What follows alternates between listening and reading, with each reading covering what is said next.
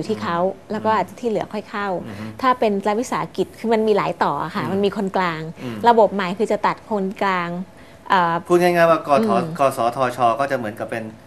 นายทะเบียนเท่านั้นแหละ ถูกค่ะ ประมูลได้ปั๊บเก็บ ไว้แค่ 2%ที่เหลือเข้าคลังหมด ค่ะ ซึ่ง 2%จริงๆก็เยอะนะ ก็คือเป็นพันเยล้าอะนสิเพราะเป็นพันล้าน เพราะว่ากิจการมันเยอะก็คืออมเขาสามารถทำงานได้โดยไม่ต้องของเงินคลังอืมแต่ว่าที่สำคัญเขาคือทำหน้าที่เก็บเงินค่าค่าประมูล ซึ่งเมื่อก่อนเป็นค่าสัมปทานเนี่ยครับคราวนี้จะเข้าคลังเต็มเม็ดเต็มหน่วยมากขึ้น คลังนี่จำเป็นไหมคุณคุณอยากผมถามเลยไปนิดหนึ่งความสนใจผมด้วย ว่าไอ้เงินก้อนนี้คือเข้าคลังไปเป็นงบประมาณกลางหรือว่า ตัดแบ่งมาสำหรับโทรทีวีสาธารณะหรืออะไรพวกเอ่นี้อด้วยถ้าส่วนของค่าประมูลเข้าคลังก็แล้วแต่คลังจะทำอะไรอืมเพราะว่ามันมีในกฎหมายฉบับนี้เขียนอีกเรื่องหนึ่งเรื่องกองทุนอ๋อโอคเดี๋ยวจะเล่าให้ฟังนะคะอ่มันจะมีเงินอยู่ 3 ก้อนอืมก็คือเริ่มแรกเนี่ยก็คือค่าประมูล อันเนี้ยก้อนเนี้ยจะเข้าคลังครับอันที่ 2 ค่าธรรมเนียม 2%ของเอกชนเนี่ยอืมก็จะมาเป็นเงินเดือน หรือว่าเป็นเงินกิจกรรมอะไรต่างๆ สวัสดิการของอือฮึ กกสทช และพนักงานครับ700กว่าคนอืม3ก็คือภาคธุรกิจจะหนักหน่อยอืมก็คือหลังจากอ่าต้องถูกหักส่วนหนึ่ง เพื่อเข้ากองทุนพัฒนากิจการอืมวิทยุโทรทัศน์ด้วย แล้วก็ไอ้อืมไอ้ไอ้เงินของกองทุนเนี้ยถึงจะเอามาเป็นทุนให้กับอ่าสื่อ วิทยุชุมชนหรือสื่อสร้างสรรค์ซึ่งกสทช จะต้องเป็นคนบริหารร่วมกับคณะกรรมการคนนอกที่กฎหมายอันนี้ออกแบบไว้อืมมันก็จะมีเงิน 3 ก้อนอืมที่ถูกกระจายก็คือเข้าคลังไปทำอะไรก็ได้แล้วแต่รัฐบาลเข้างบประมาณปกติอ่าแล้วก็กสทช หักไว้เป็นเงินใช้จ่ายของตัวเอง แล้วก็อีกก้อนหนึ่งสำหรับสื่อสาธารณะและสื่อชุมชนที่จะไปขอใช้ ก็จะเป็นส่วนที่ดีค่ะทีนี้ต้องถามปัญหาปวดหัวอันนั้นอันนั้นจริงๆปวดหัวกว่านะแต่ว่าขณะเดียวกันมันก็มีเรื่องอ่าเรื่องวิทยุชุมชนกับเรื่องเคเบิลทีวี ที่ยัง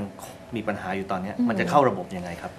เอ่อก่อนนี้เนี่ยความพยายามของกทช ตอนเนี้ยซึ่งกฎหมายบอกให้เป็นผู้ดูแลชั่วคราว แล้วก็เขาต้องมีการฟังอนุกรรมการเนี่ยนะคะครับก็พยายามทำอยู่ก็คือตอนเนี้ยก็คือให้วิทยุชุมชนทั้งหมดเนี่ยมาจดทะเบียน แล้วตอนนี้มีคนมาจดทะเบียน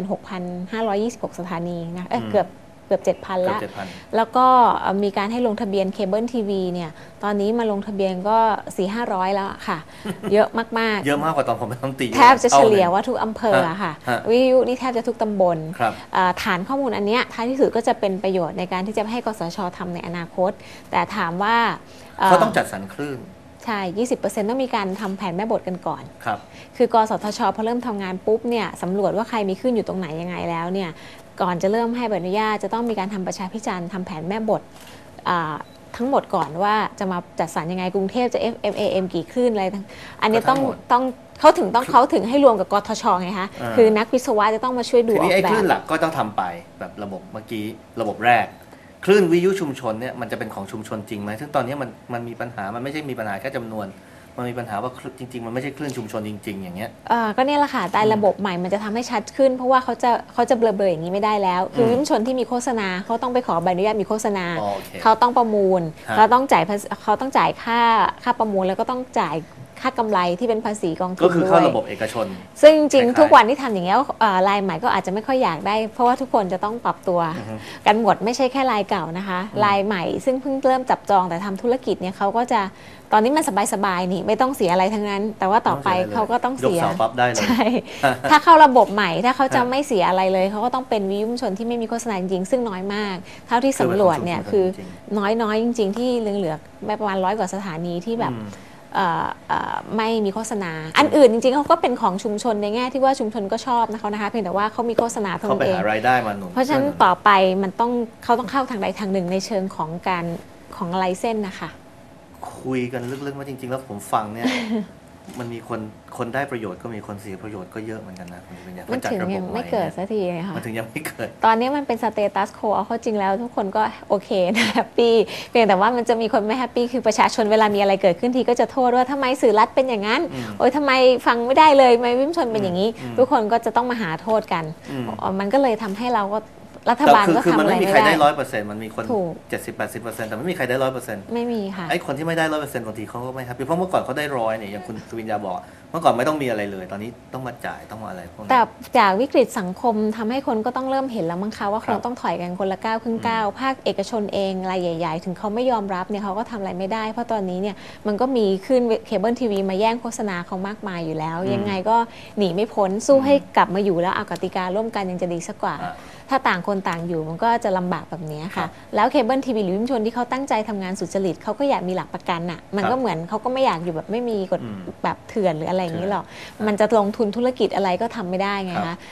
มันประเทศมันก็จะไปไม่ได้ มันอาจจะดีเฉพาะหน้าตรงที่ว่าปณิประนอมกัน แล้วก็อืมไม่มีใครเสียอะไรอืมหรือว่าไม่ต้องแบบเจ็บปวดกันอืมที่ต้องปรับตัวแต่ว่าระยะยาวมันจะพัฒนาไม่ได้ มันก็จะขาเพราะว่าตันๆทุกคนก็ปไม่อย่งกเงี้ยล้าจะทำอะไรตันๆเพกันราะแบว่าบไทยๆใช่ตันตันๆถ้ามันตันแล้วอยู่กันอย่างนี้ได้ก็โอเค แต่ว่าระยะมันเริ่มยาวไม่ได้มันก็ไม่ยั่งยืนแล้วต่างชาติเองหรืออะไรเองเขาก็จะงงว่าครับเราจะอยู่กันในระบบแบบไหนอืมข้อดีอันหนึ่งก็คืออาจจะป้องกันการลงทุนจากต่างชาติได้อืมเพราะตอนนี้ต่างชาติไม่กล้ามาลงทุนด้านกิจการเคเบิลทีวีในประเทศไทย เพราะว่าไม่มีกติกาไม่มีกฎหมาย แต่ว่า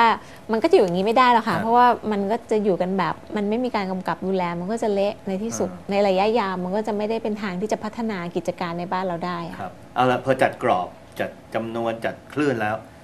สิ่งที่คาใจผมในฐานะพูดพูดพูดในฐานะผู้ตัวแทนผู้บริโภคคือคุณภาพ พูดกันไหมคุณภาพของรายการคุณภาพของสถานีจะดูยังไง ไม่ใช่ว่าแน่นอนบางคนอาจจะมีตังค์ได้ license อืส์มแต่ไปขายของ